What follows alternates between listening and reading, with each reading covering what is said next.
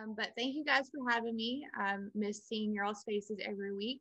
And um, I have gone a different route than what we traditionally do. So instead of doing the floral arrangement live, because I do have construction going on out back, um, and my cat loves to get in the middle of my floral arrangement stuff. So I have a video for you guys today that I did this morning at like two o'clock in the morning. Um, so it's got the demonstration in there and then I'll be on for a question and answer portion here in a little bit. So let me go ahead and share my screen and we will play this lovely video that I made for you guys.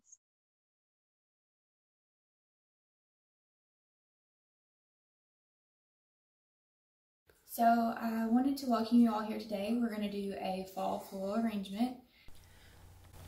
So one of the most important things about a fresh flower arrangement is using wet floral foam. And so we're going to soak this foam here. And oftentimes people want to push it down in the water. We don't want to do that. So we're just going to slowly watch it sink. And then we are going to go ahead and let it sit in that water um, and soak up as much as possible while we get all of our other supplies and things prepped. So again, this is wet floral foam and we want to make sure that we give it plenty of time to soak and we don't push it down. And once it starts to saturate, you can see that it will float in that water. Um, so just let it float there while you're getting everything else ready. So um, now that we have our floral foam soaking, I want to go ahead and get my flowers prepped and give that foam some time to soak. Um, so I'm gonna go ahead and cut the bundles open. These are just some that I got from the local grocery store. Um, usually I do like to either grow my own, cut from the garden, or get from the local farmer's market. Uh, but it is getting a little cooler. We've already had a freeze here. Um, so that was a little bit impossible this time. So I'm gonna go ahead and show you all the easiest way that I know to open these bundles um, is actually going to cut this band off the bottom or pull it off if they're really rubbery. And then I usually just find the seam and tear them open. Easy as that. Um, so then what I do is I go ahead and cut the main long stem part back a little bit just to make them a little easier to manage and to kind of reduce my waste as I'm working in my space. Um, so I'll go ahead and cut these back and I'll get the rest of the flowers prepped. Um, I usually do also remove anything um, along the edge of the stem that's going to be leaves, foliage, um, anything like that. And so you're looking at this going into a glass of water or a vase to have beside you ready to use. So what I'm going to prep now is the replacement for our leather leaf that we're using in our arrangement today as our filler and it is going to be dried fall leaves. These have been um, dyed in their drying process and so that's why they have this vibrant color. The stems are a little bit thicker on these, so you need some clippers to cut those, and you want to cut them in smaller little segments so you have as much to use as possible for your arrangement, because this is going to help us cover up that floral foam, um, and then also going to add that bright pop of color um, along with your arrangement. So just make sure that you're cutting these, if you use these, um, with some clippers, because the stems are a little bit harder to cut through, and get your stuff organized and ready to go.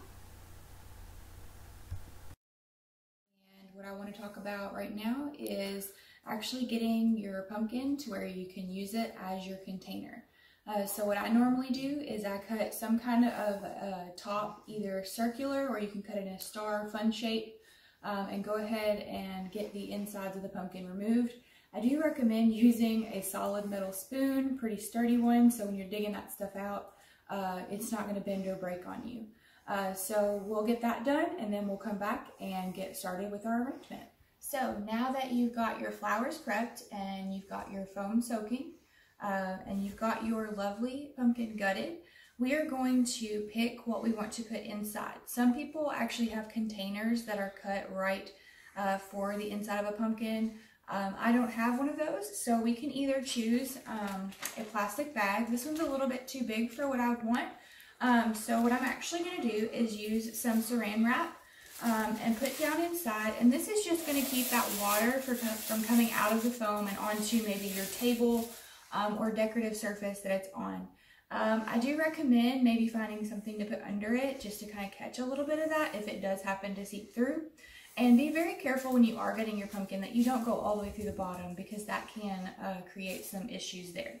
So we're going to get this in and then we're going to go over to the sink uh, where our foam is soaking and we're going to actually cut that foam and get it ready to place down inside of our pumpkin so that we can put our flower stems inside. So we're going to take the floral foam and put it right over top of your pumpkin. And you'll have to cut down some of the edges just to get it to go down in there. And I usually try to cut them at an angle to leave as much at the top as possible um, for those stems to go in. And so we'll just get this guy cut down where he'll go in there. And then we will cut off the top, um, just leaving enough for a little bit of stems to come right above the pumpkin. So it's going to just slide right down in there now. You may just have to push it just a little or trim just a little more off um, to get that to go in there. And you want to make sure it's going all the way down the bottom because you want as much as possible uh, to put your stems in. So now that it's in there, you can kind of decide how much you want um, showing above. If you want a taller arrangement, you can leave uh, more of the foam. I like my arrangements fairly short, so I'm just going to cut right above the edge of the pumpkin lip. And then you can actually go ahead and put the rest of that foam piece back in your water and you can use it if you wanted to do a second arrangement later. Um, just let leave it floating and it'll keep collecting that water and it won't dry out.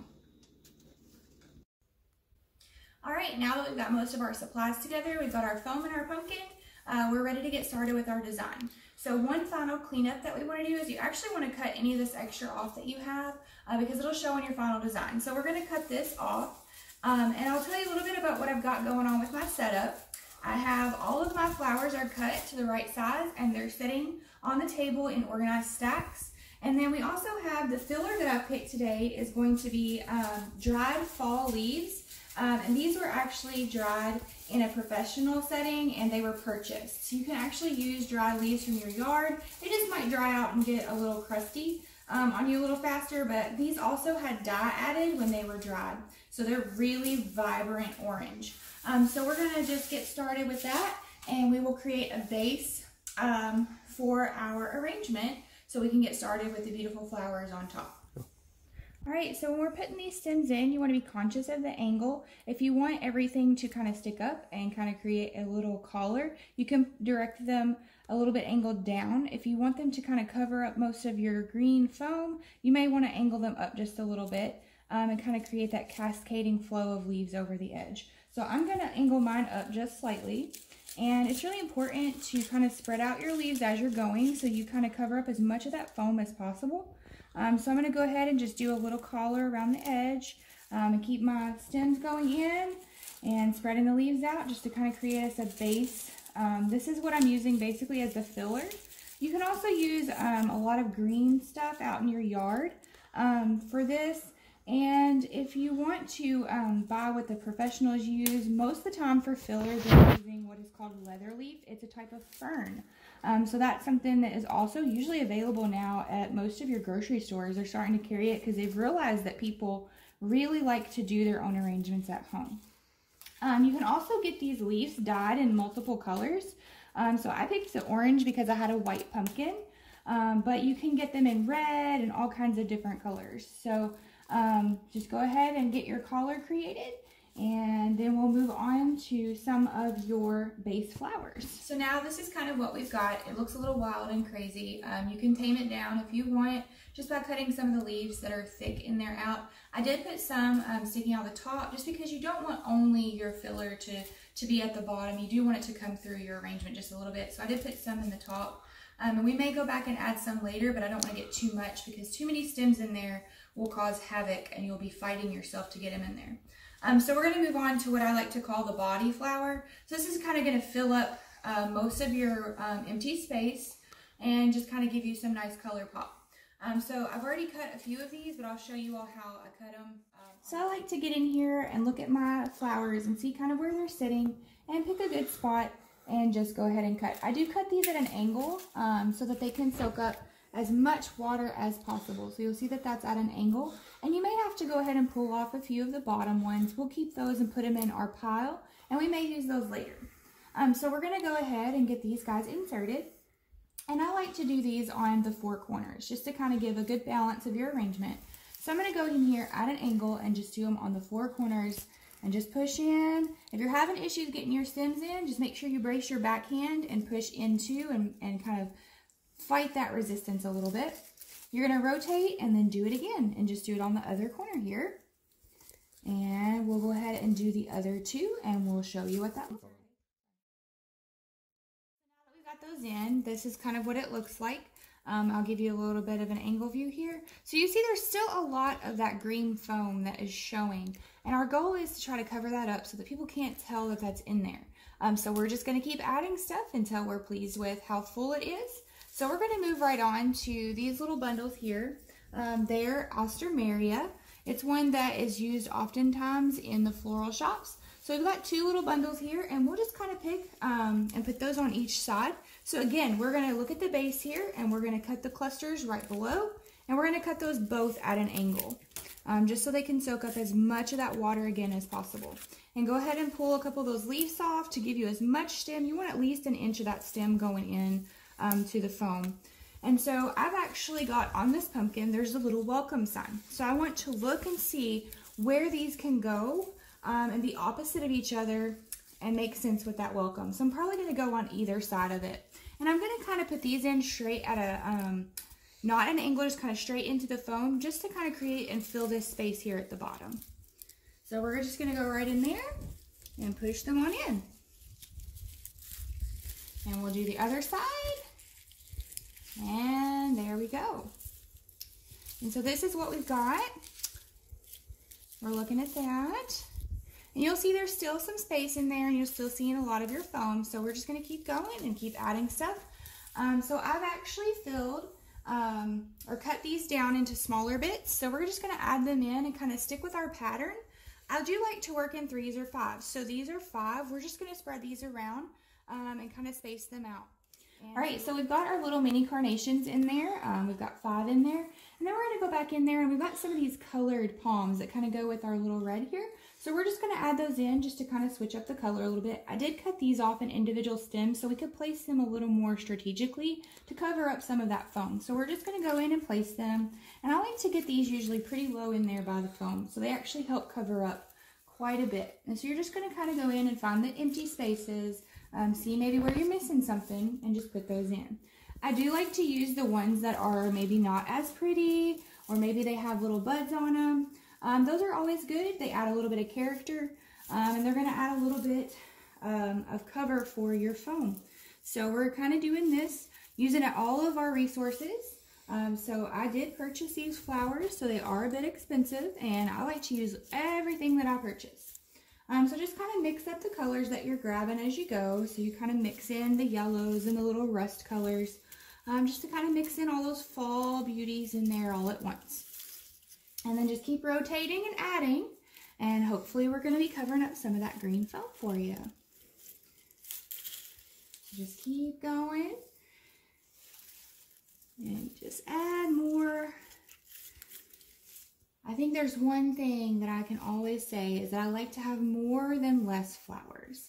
Um, there is a thing as too much, but I think it takes quite a bit to have too much. So we just keep adding until we're happy with it. And I will say um, that it is a whole lot harder um, if you put it in the wrong spot to take it out and replace it. You want to go ahead and leave those in there. If you if you don't like where they're at, uh, just leave them in there and maybe move something else around it because the more holes that you have in your foam, the faster that it's going to dry out. Um, so that's something that you don't want to be poking and leaving a bunch of empty air holes um, in your foam because that's going to dry it out for you pretty bad. And we just don't really want that. We want your foam to stay as wet as possible because that means your flowers will stay alive a whole lot longer. Um, so we're just going to keep adding these in and I will probably just keep adding until I run out because I really like adding these different colors in there. And so this one actually has two on it still, so I'm going to put that in the middle here to kind of give us a little bit of height there. And again, you just want about an inch of that stem going in, and you may just need to fight and wiggle a little bit to get it to go around, um, to get it to go in there. So it adds just a little bit of height for us. And now I'm going to go in with what I call uh, my filler.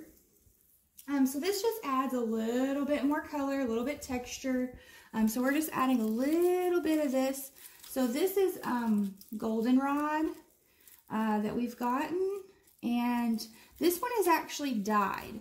Um, so this one is red because it has been dyed. That's something that they've started to do in the floral industry that some people like and some people dislike. So if it's something you enjoy, uh, you go for it. If not, you can still get the traditional yellow.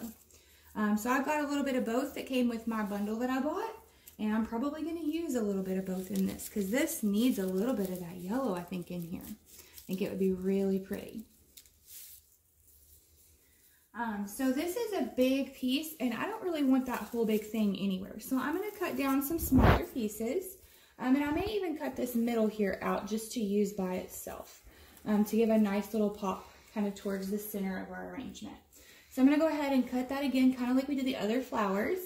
We're just going to cut it at an angle and I'm going to pull a couple of the guys off the end here just to kind of give us that stem to go in.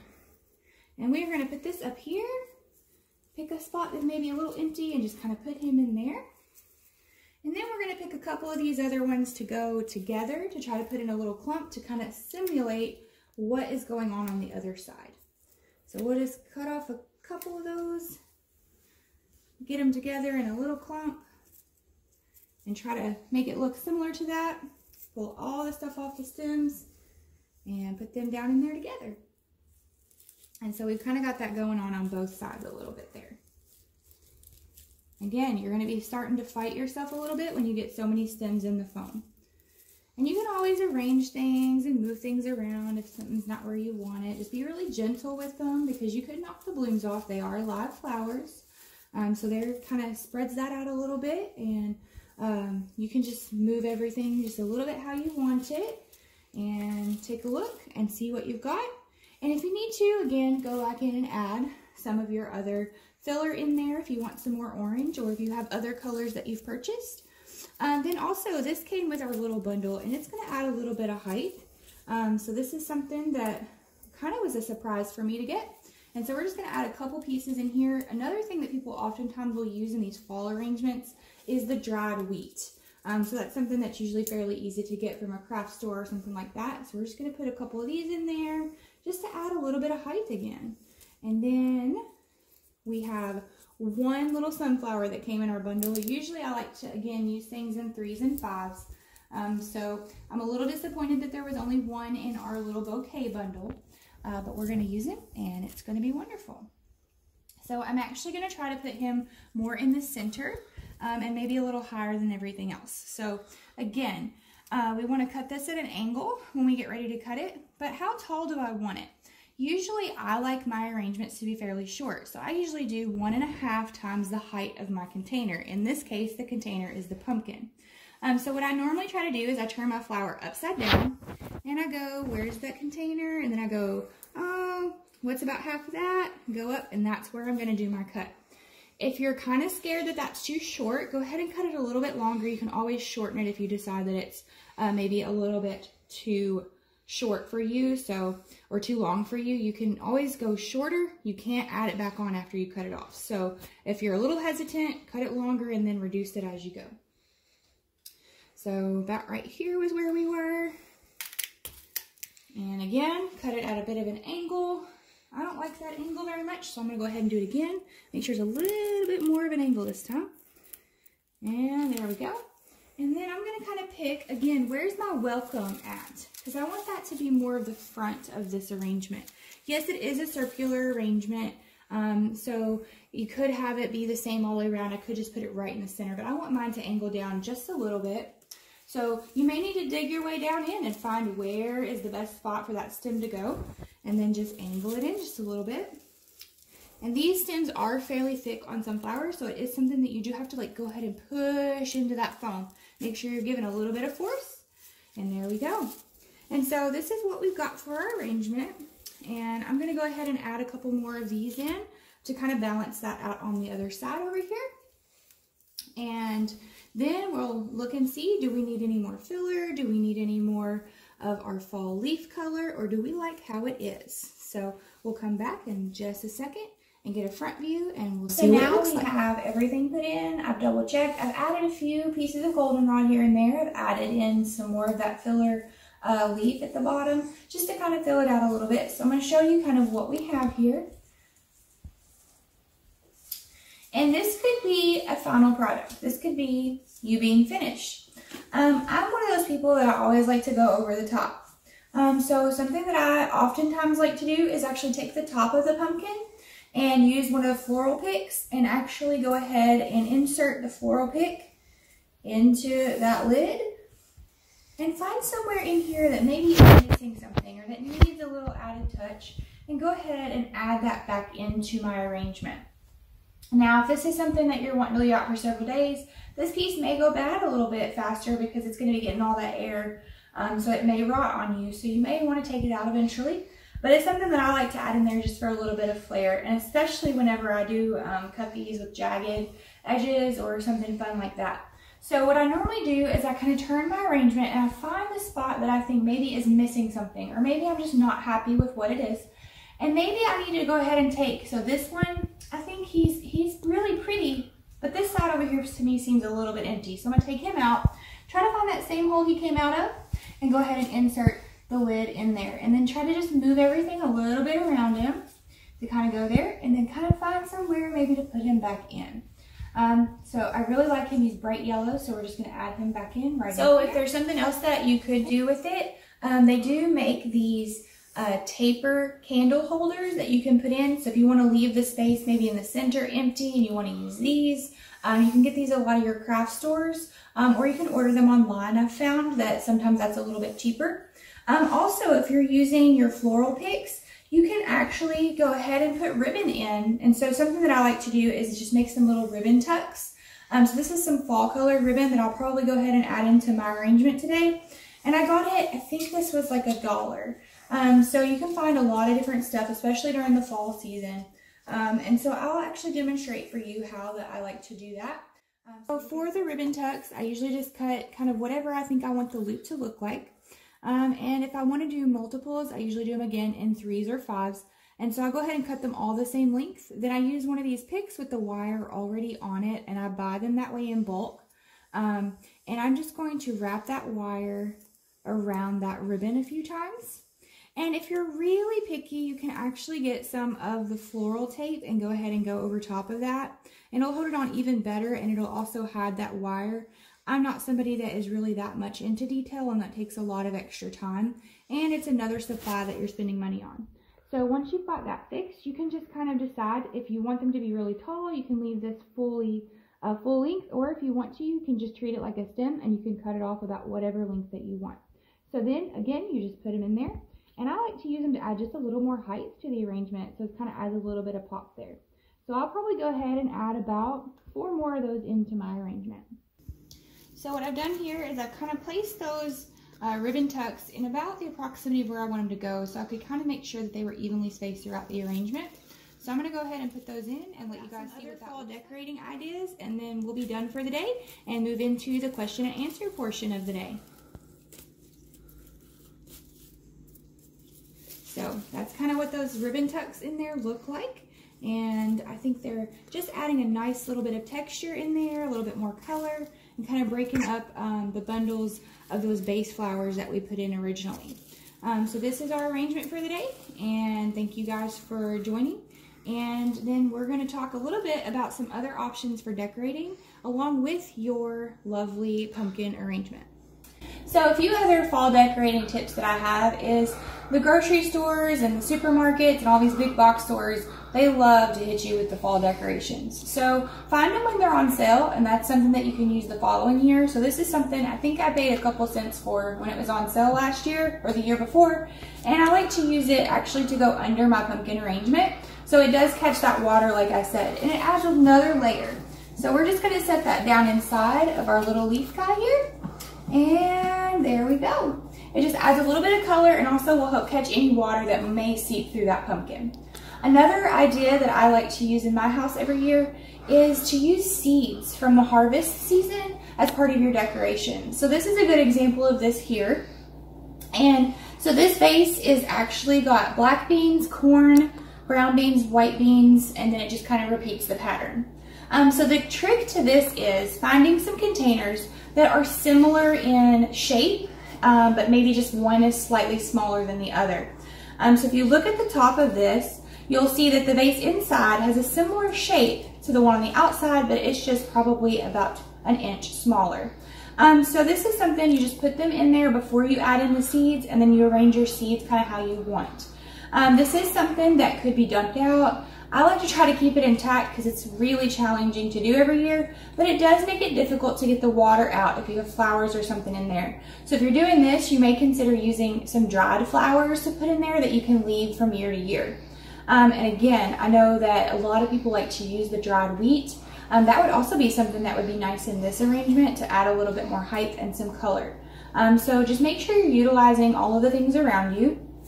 And another thing that people oftentimes miss out on is getting that corn. And it has the different colors and different textures. And you can just lay it along the side of a table or an arrangement and just kind of adds a little bit to it. Everybody always thinks pumpkins and gourds, and sometimes we forget that we have this lovely Indian corn, um, I think is traditionally where we see that. Um, and this, there's many different colors of it, so I've got a few examples here.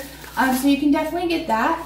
And then that is something that I found last year is that we actually had some little miniature ears of corn and I used those um, to actually decorate inside of a wine glass and I turned the wine glass upside down and actually used, I think it was this tray. Um, so I put the wine glass with the corn inside of it upside down and I put a candle on top. Um, so just look at different things and just try to be creative with it and enjoy the fall season. Um, you can also use baskets for your arrangements if that's something that you collect or have a lot of. Um, we've done basically this same arrangement in baskets before and one of the keys to that is trying to find a liner for it or having a container that you can do the arrangement in and then just set down into your basket. So again, you're having something that catches that water. Baskets are pretty easy to find liners for though because they are oftentimes used for plants and planters. So I hope that you found some of this interesting today and I hope that you guys will um, maybe share some of your ideas in either the chat box um, or in the comment section or if we do the question and answer portion.